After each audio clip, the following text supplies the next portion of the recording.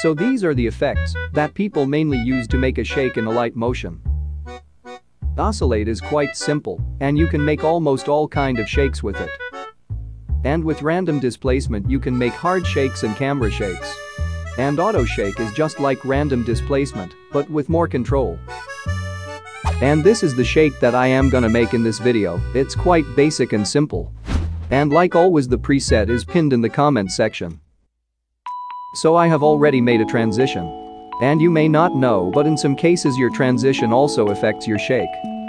So first go to add effects and add tiles effects. Enable mirror and crop it a little. This is something that you will have to do every time you make a shake or a transition. Now add motion blur. And if you have made a zoom transition like me then you might get a zoom blur like this. This makes your shakes a little more blurry, but you can also disable this.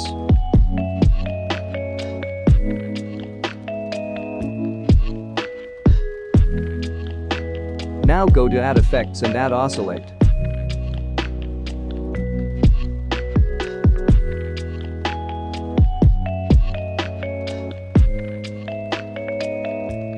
Here you have to only focus on these three things. With angle you can adjust the angle of the shake. And with frequency you can adjust the speed of the shake. And magnitude is for the strength.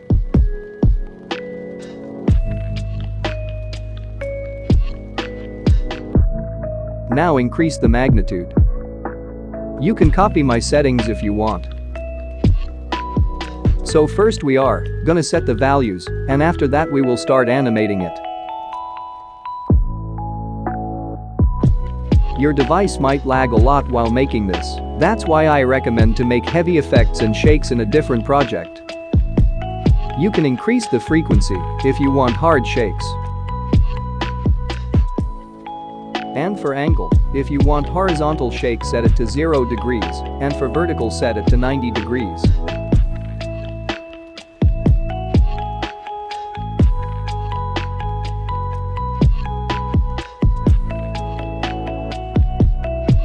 And once you are done setting the values start animating the magnitude.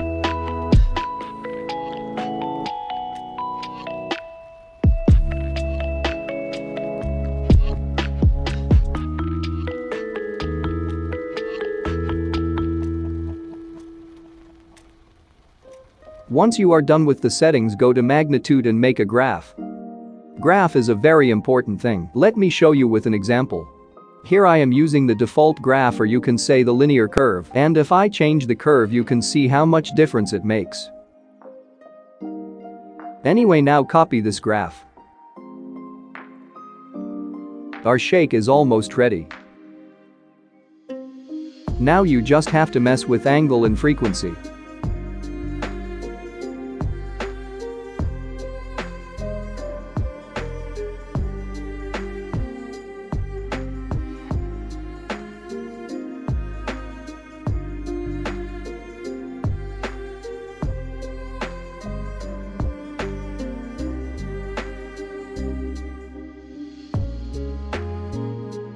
If you want to make your shake a little more shaky then you can animate the angle or else leave it.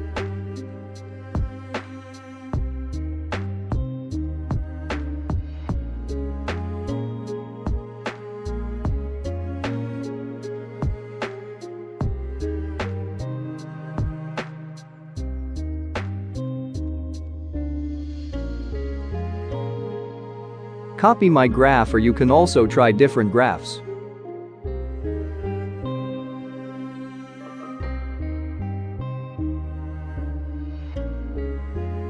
Now let's render it and see how it turns out.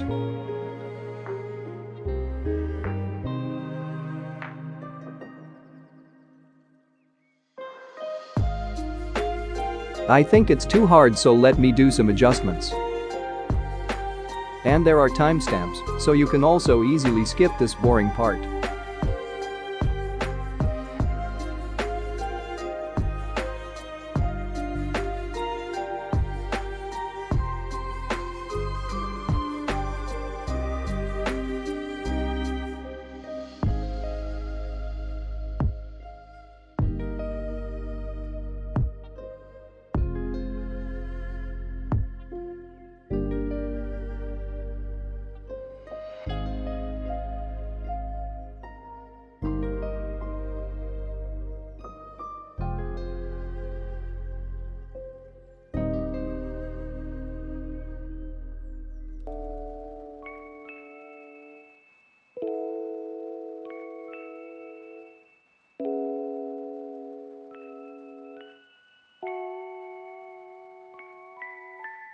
you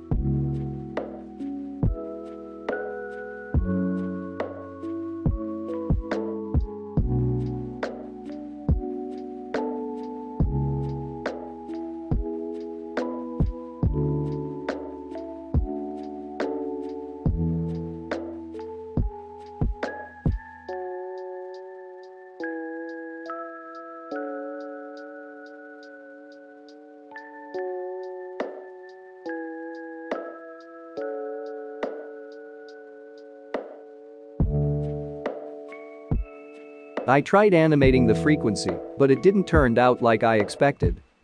And in this video I also forgot to enable the scale blur so don't do that.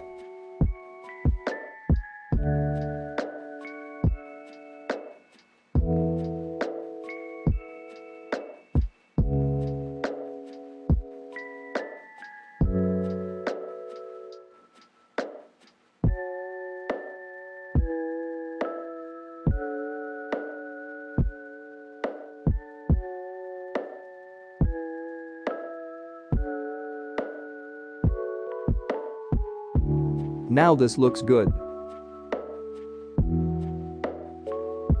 Now let's make a shake with random displacement.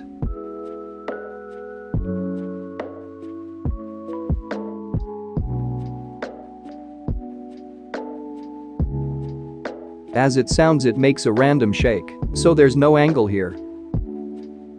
And just like frequency and oscillate here's it's called evolution.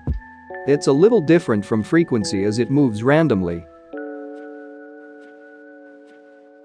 This isn't an off-topic thing that's why I am not gonna explain this that much.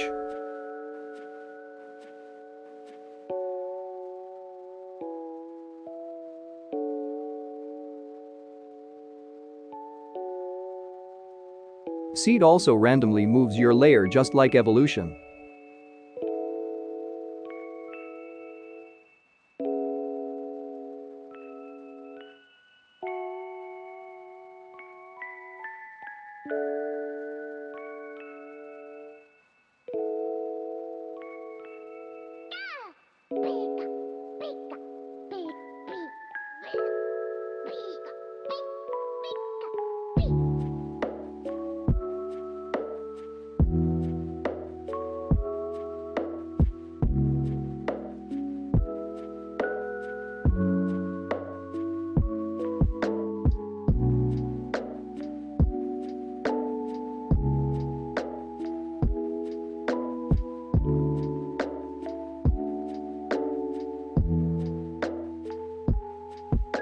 You can combine both oscillate and random displacement to make it edgy shake.